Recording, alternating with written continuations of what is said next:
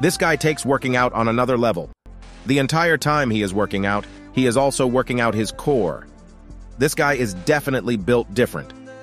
Did you know engaging the core muscles can further enhance overall functional strength, but also improve digestion and promote health organ function? Just look at how effortlessly easily he makes these workouts look. Would you do this workout?